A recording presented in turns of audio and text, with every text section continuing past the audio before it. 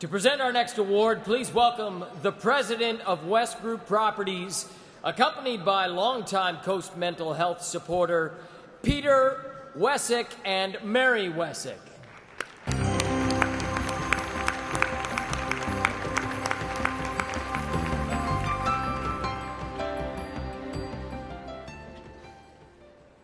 This award recognizes that person who, in spite of their addiction to drugs and alcohol, has managed to stay in recovery and go on to make a significant contribution to society.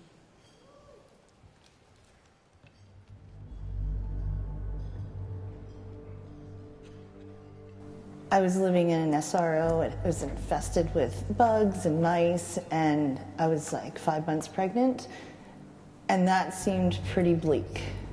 I didn't know what to do. For most of her childhood, her father was in prison. In her 20s, she married his friend and they moved to Manitoba. Soon they had two children. Then he was arrested and sent to jail. She thought she was coping until she was sexually assaulted. Her testimony sent her attacker to prison, but left her with a lifetime sentence of hepatitis C and HIV. Eleven months later, her car hit black ice and flipped several times. Lucky to be alive, she was given Percocet, a painkiller to which she quickly became addicted. She and her daughters moved back to Vancouver, and her addiction moved with them. Unable to get a prescription, she turned to heroin to feed her habit. It was the worst decision of her life, the life of Deborah Carter. With addiction comes chaos, and with chaos comes consequences. In Vancouver, Deborah and her daughters had been living in a basement suite at her mother's house. But with the addiction out of control, and when attempts to curtail her addiction failed, Deborah's family kicked her out. Her mom kept the children. For the next four years, Deborah lived homeless on the streets of Vancouver or in Stanley Park. She sold drugs, stole whatever she had to do to get a fix.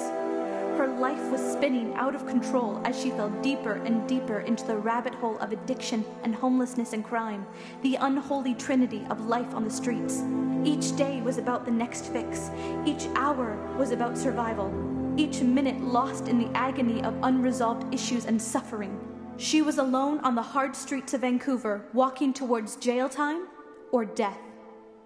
Change often happens in such small ways we don't recognize that it's happening. Although she didn't know it at the time, change began for Deborah when she learned she was five months pregnant. At the time, it was not good news, and her daughter Ariel was born by emergency C section at Vancouver Women's Hospital. Deborah developed a drug resistant staph infection and almost died. She and Ariel were in the hospital for nine weeks, and then Ariel was taken from her, placed in foster care. And at that moment, change was a reality. You see, at that moment, Deborah became determined to get her daughter back, to be the mother her children deserved, to rebuild her life no matter what it took. And what did it take? It was the hardest step of all. Deborah asked for help. With her cry for help, Deborah was placed in a six week drug program at Women's Hospital. There, she went through the agony of getting clean and began to work on the issues that led to her addiction. She began having her baby daughter for visits, first for one visit per week for 90 minutes, and increasing to four sleepovers per week. She joined Crabtree Corner's single mother support group.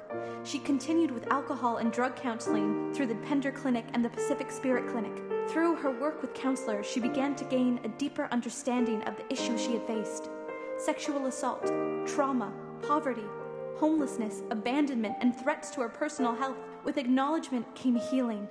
And although progress by nature was slow, it was also steady. Because Deborah was determined her life would change. By the time Ariel was one year old, she was living with Deborah full time, and Deborah was beginning to heal. With sobriety came stability, and with stability came a new outlook on life. Deborah wanted to help, to give back to the community, to use her hard won skills to help others. She applied for employment with Crabtree Corners and soon was a coordinator of their fetal alcohol spectrum disorder program. Deborah was helping mothers who struggle with issues of addiction and parenting. She worked at growing professionally by taking courses at the Justice Institute, and she has mentored hundreds of women on the road to sobriety. Today, she is the homelessness prevention worker and single mothers facilitator and outreach worker for Crabtree Corners. She also works directly with downtown Eastside sex workers as an on call assistant at the Wish Drop In Center. She has an exceptional reputation within the community for providing resources, advice, and emotional support to women, men, and youth faced with homelessness, addiction, violence, and poverty. And she cares for her aging mother, maintains a close and loving relationship with her three daughters, and she is the grandmother of Harlow, with whom she has a special and loving bond. To see Deborah with her daughter or to see her with her granddaughter is to know the definition of love. My daughter turned 29 yesterday. My middle daughter is 24 and my youngest is 11 and she's funny and creative and a really good kid. I figured if I couldn't do it for myself at the time, at least I could try and figure out something better for her. Of me realizing maybe I could do it for me too. She has been on an amazing journey. She's an amazing woman with the courage to come back.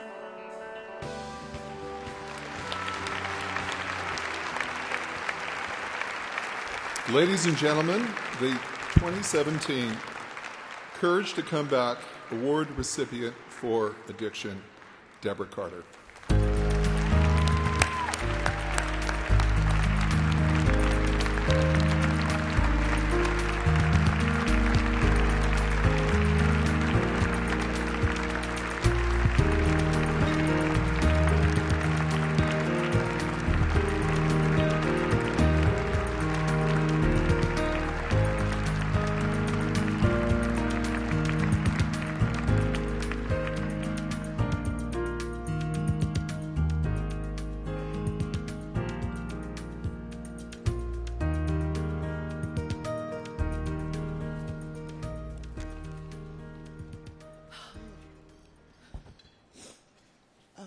Goodness.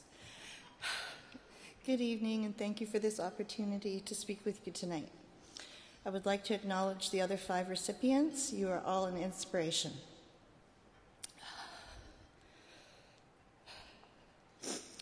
This award this night is not something I ever imagined happening to me. When I look back, it's sometimes easier to connect to the pain and loneliness and the struggle just to survive. My life as a heroin addict was a daily grind of trying to get my needs met. Things like housing, food, clean clothes all came second to drugs. Even my family took a back seat at this time. I was lonely, scared, and lost. I had nothing. I felt like nothing. And every interaction with people seemed to confirm that. But tonight I stand here receiving this lovely award, and this Courage Award process has made me think a lot about my past. My past holds a bucket load of bad stuff, and I carried it around inside of me every day. But there was also good, and good is what led me here today, because kindness defined my outcome and continues to shape who I am today and where I go tomorrow.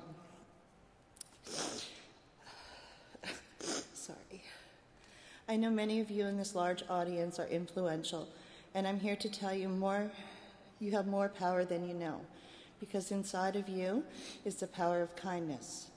Kindness carries no dollar value. When I became homeless, my life began a downward spiral. I was doing drugs and doing horrible things to get them, something all new to me. I was out of control. I reached out for help, I searched for it, and I begged. But I was told, basically, get your shit together. It's your problem. Figure it out. Well, I couldn't do it by myself. I was shamed, hurt, and brought down even further than you can imagine. My spiral continued until my pregnancy caught me off guard. I had my precious daughter growing inside of me that I had to protect. I reached out again for help, but got nothing. Nothing but more shame. The first doctor I interacted with treated me with such scorn, and I was almost five months pregnant. So for the next month and a half, I didn't seek any more medical help. By this time, I was getting sick. I ended up at Women's Hospital, and during my month's stay at a hospital, there was a nurse. a busy, ordinary nurse, but this nurse had the extraordinary talent. She didn't judge. She didn't judge me. The pregnant heroin act. What an extraordinary act of kindness that was. For the first time, oh, for the first time during a long, heartless journey I'd been on, I felt hope and I felt human. I began to see a flicker of light at the end of my very long tunnel, and I took those feelings and forced to move forward for myself.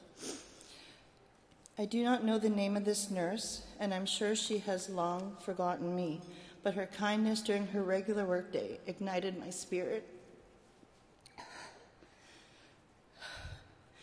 and allowed me to tell, tell myself that I was worthy of this change. It's not like I didn't mess up again, but I learned to look for those people who were kind. When I ended up at the YWCA Crabtree Corner, I used the daycare program and kindness struck again.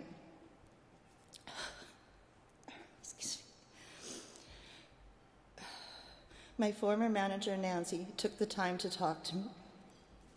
She asked me questions and found out what I was about, what I was really about, and not all the drama that came before. She encouraged me and thought of ways in which I could be useful around Crabtree, ways that I could show kindness to others. And that's what I hope I do as the homeless prevention worker for the Y. I thank you, Nancy, for encouraging me, pushing me to try new things, and having faith in me. You are a woman of grace and much wisdom. I would also like to thank the YWCA Metro Vancouver for all the opportunities that you have given to me to grow as a person. And I also want to thank my three beautiful daughters for the love that they show me, the trust I see in their eyes once again, and the strength to continue each day. Along the way, there were many others, too many to mention here today, but I thank you for your kindness and support.